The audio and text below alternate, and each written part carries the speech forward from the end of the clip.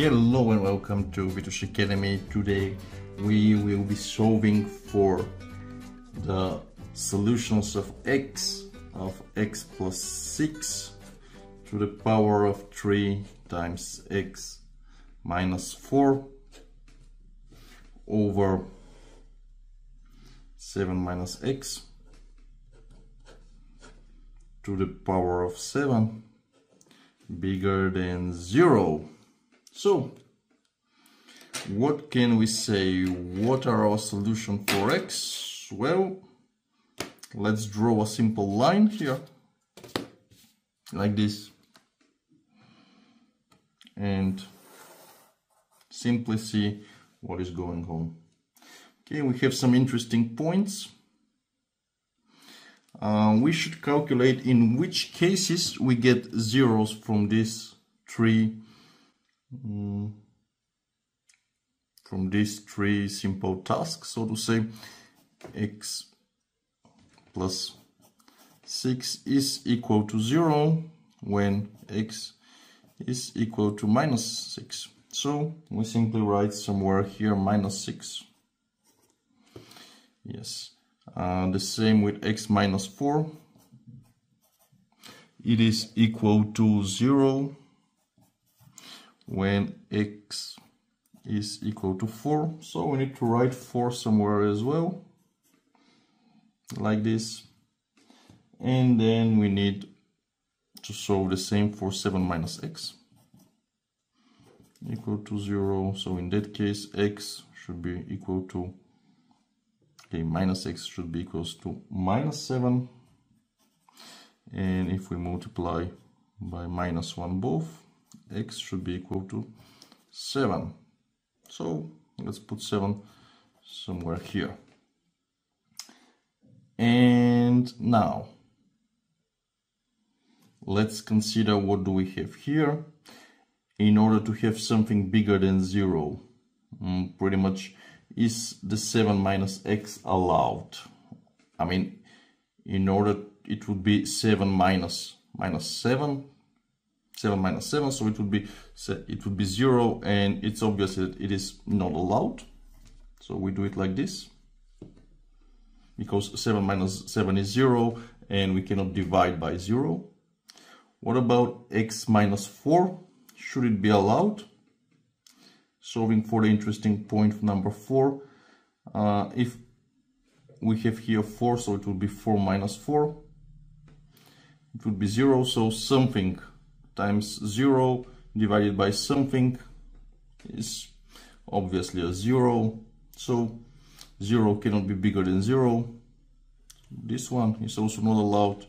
And now let's talk about minus 6 following the same logic as we just I just explained with the minus 4 uh, if we have minus 6 here minus 6 and 6 are 0 0 times something is 0 and 0 divided by some by anything is yeah 0 and it is bigger than 0 that's a false so the minus 6 cannot be allowed. So what do we pretty much do? We're looking for all the positive solutions. And in order to find the positive solutions, let's find from infinity to 7 the solutions. What is what are they? Are they minus or are they plus? Let's see their sign. And from minus infinity to minus 6, then from minus 6 to 4, then from 4 to 7, and then from 7 to infinity. So what do we do? We replace with really big number, which usually should be a million, but in our case, it would be something like a thousand, okay? So we saw 4x equals a thousand. So we have 1000 plus 6 to the power of 3, then 1000 minus 4, and then 7 minus 1000 to the power of 7. Okay, so 7 minus 1000 unfortunately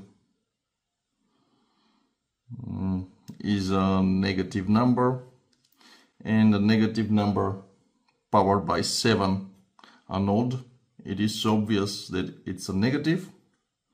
1000 plus 6 is a positive number times to the power of 3 this is a positive and we have 1000 minus 4 which is 996 also positive. So what do we have like a positive plus a positive divided by a negative. Well that's a negative number in this case. So what do we do here? We write a minus like this. Yes and then we take a look at the 7 where did this 7 come from? Because we are we're going in this direction from infinity to minus infinity. So the 7 we we get it from here 7 minus x divided by 7 so there are two ways. We can for example take a number here like any number between 4 and 7 let's take 5 and we can start solving the same thing for 5 or we can do something something better which we are going to do. We're going to say 7 is to the power of an even thing so it changes the sign. So between 4 and 7 the results would be a plus. Then we go to the 4 again we have two options. We can go and select a number like minus 5 and replace x with minus 5 or we can take a look at the 4 and we can say hey I don't see a number here so it's obviously a 1 if it is a 1 it is an it is an it is an odd number. So again we change the sign. From plus it becomes a minus then we go to minus 6 minus 6 we took it from here. It is a 3 e is an odd number so we change again. And we from minus we take plus. Okay? So we are looking for a solution where x is bigger than 0 so in our case x is bigger than 0 here and here and we write it down like this. X belongs to minus infinity. Minus 6 like this. United with 4 to 7 not including both. Okay and now let's take a look at the function. How does it look at Desmos? Pretty much looks like this starting from minus infinity. And somewhere around I would say 7 something happens with the function which is visible y because it's an exponent of 7 minus x to the power of 7 and of course it doesn't have a solution here but we wouldn't be able to solve to show because it's not non-existent. And the solution doesn't exist because 7 minus 7 is 0 we cannot divide by 0 and if we want to see the solution for let's say something like uh, here 4.7 then the solution for 4.7 for 4.7999 is somewhere around 4 you can see it and if we really repeat our function because currently it looks like this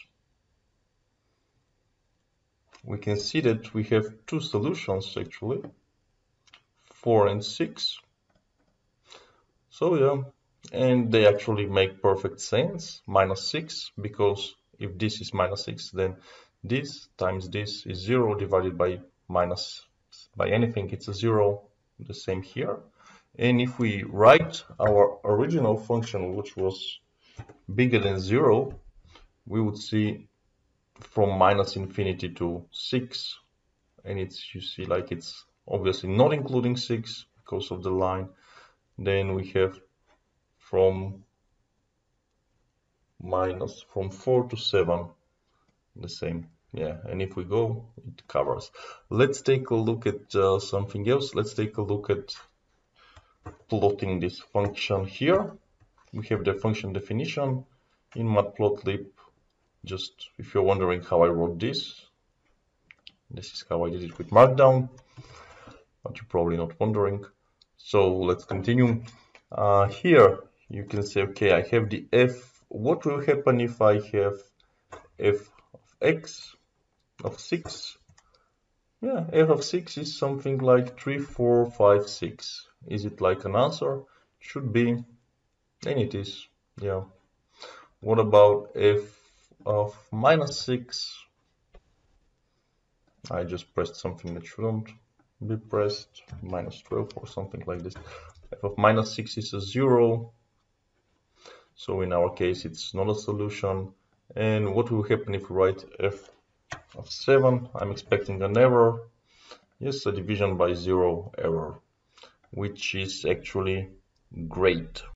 Now let's take a look at the other part, the last part of the Jupyter Notebook exercise and try to plot it. I have already written the code. Pretty much we have a lot of x values from minus 10 to 10, pretty much. Avoiding 7 because 7 is a division by 0. Automatically, as you can see here, let's put something positive like 6.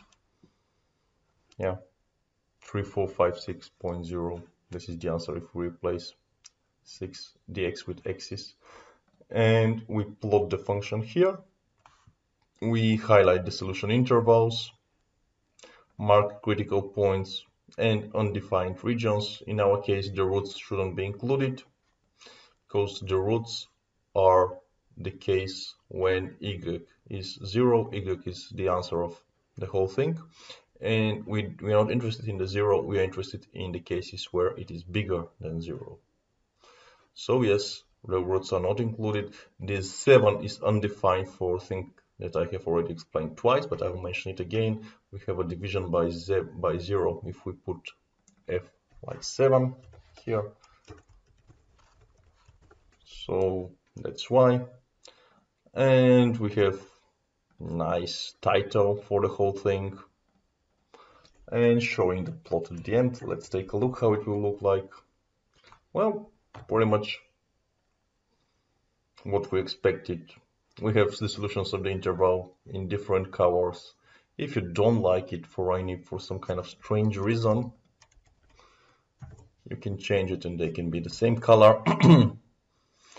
and pretty much that's it. Let me know whether you like this type of new videos where I write something with the hand and then kind of try to explain it with Python code and graphs or I should I should change the way I'm doing my videos to something else.